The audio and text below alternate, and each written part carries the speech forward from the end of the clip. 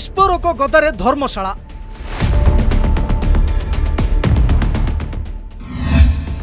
ଟିକେ ଏପଟ ସେପଟ ହେଲେ ଚାଲି ଯାଇପାରେ ଶହ ଶହ ଜୀବନ।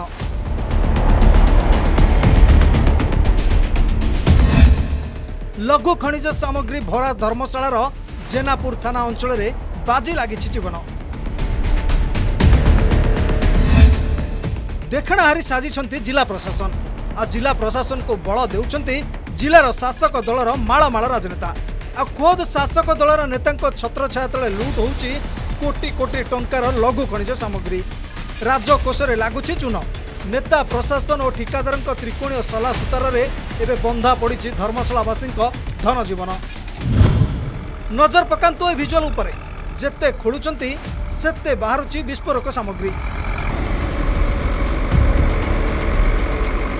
ରାତି ସାରା ପୋଲିସ ନିର୍ଦ୍ଦେଶରେ ଖୋଳା ଚାଲିଛି ମାଟି। ଆଉ ମାଟି ତଳୁ ଜବତ ହେବାରେ ଲାଗିଛି ବିସ୍ଫୋରକ ସାମଗ୍ରୀ।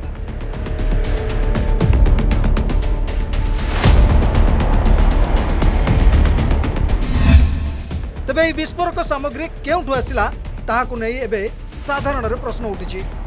ଆଗକୁ ପଞ୍ଚାୟତ ନିର୍ବାଚନ ଥିବାବେଳେ ଧର୍ମଶାଳା ଅଞ୍ଚଳରୁ ଲଗାତାର ଭାବେ ବିସ୍ଫୋରକ ସାମଗ୍ରୀ ଜବତ ହେବା ଏବେ ବଡ଼ ପ୍ରଶ୍ନ ସୃଷ୍ଟି କରିଛି।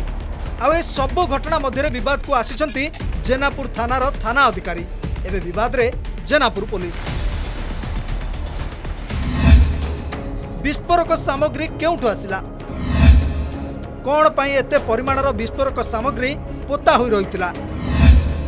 କେଉଁଠାକୁ ଯିବା ପାଇଁ ଏତେ ପରିମାଣର ବିସ୍ଫୋରକ ଗଚ୍ଛିତ ଥିଲା? ଆଉ ଏ ବିସ୍ଫୋରକ ସାମଗ୍ରୀ ପଠାଇଥିଲା କିଏ? ଆଉ ମାଟି ତଳେ ଖୁଲ୍ଲମ ଖୁଲ୍ଲା ବିସ୍ଫୋରକ ସାମଗ୍ରୀ ରହୁଥିବା ବେଳେ ପୋଲିସ ଜାଣିପାରିଲାନି କେମିତି? ଏମିତି ନାନା ପ୍ରଶ୍ନ ଘେରରେ ପ୍ରଶାସନ ଥିବାବେଳେ ସ୍ଥାନୀୟ ବିଧାୟକ ପ୍ରଣବ ବଣବନ୍ତ ରାୟଙ୍କୁ ଏନେଇ କାଠଗଡ଼ାକୁ ଟାଣିଛନ୍ତି ସୂଚନା ଅଧିକାରୀ କର୍ମୀ ସର୍ବେଶ୍ୱର ବେଉରା। ପୃଷ୍ଠପୋଷକ ହେଉଛନ୍ତି ନିଜେ ଶାସକ ଦଳର ମାନ୍ୟବର ବିଧାୟକ। ବିଧାୟକ ଯଦି ଚାହିଁନଥାନ୍ତେ ତାହେଲେ ଏ ଘଟଣା ହୁଅନ୍ତା କେମିତି ବେଆଇନ ଖଣି ଖନନ କାର୍ଯ୍ୟ ହେଉ କିମ୍ବା ସେ ଅଞ୍ଚଳରେ ମରମ ଚୋରାଚାଲାଣ କଥା ହେଉ ସବୁଯାକ ଏଇ ଜେନାପୁର ଥାନା ଅଞ୍ଚଳରେ ଘଟେ ସାରା ଓଡ଼ିଶାର ଯେତେ ଥାନା ଅଛି ସବୁଠୁ ଲୋ ପ୍ରୋଫାଇଲ୍ ହାଇ ଇନକମ୍ ଥାନା ହେଉଛି ଜେନାପୁର ଥାନା ଆଉ ଜେନାପୁର ଥାନା ଅଞ୍ଚଳରେ ଏକଥା ଘଟୁଛି ଏକଥା ନିଜେ ମାନ୍ୟବର ବିଧାୟକ ଜାଣିଛନ୍ତି ଏ ଆଗକୁ ଯେହେତୁ ରହୁଛି ପଞ୍ଚାୟତ ନିର୍ବାଚନ ଏସବୁ ଜିନିଷ ଲୋକଙ୍କ ପାଖରେ ମହଜୁଦ ରହିଲେ ଏହା ମ, କିଛି ଏ, ମାନେ ମ, ମ, ପରିସ୍ଥିତି ଭୟାବହ କରିବନି ତ ଆଗକୁ ଏସବୁ ଜିନିଷ ନେ- ନେଇ ଆମମାନଙ୍କ ନିକଟରେ ଭାରି ଏ, ଭୟର ବାତାବରଣ ରହିଛି।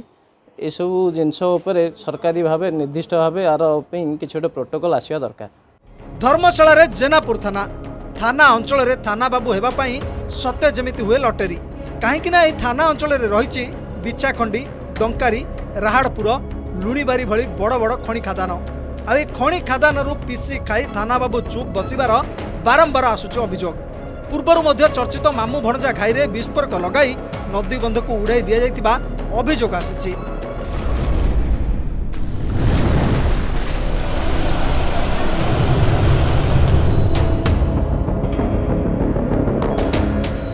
ତେଣୁ ଏପରି ସ୍ଥିତିରେ ପ୍ରଶାସନ ବିସ୍ଫୋରକ ସାମଗ୍ରୀ ଆଣୁଥିବା ବ୍ୟବସାୟୀଙ୍କ ନିକଟରେ ପହଞ୍ଚି ପାରିବ ତ?